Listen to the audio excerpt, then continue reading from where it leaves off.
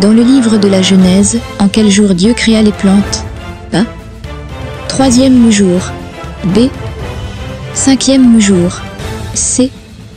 Sixième jour. D. Deuxième jour.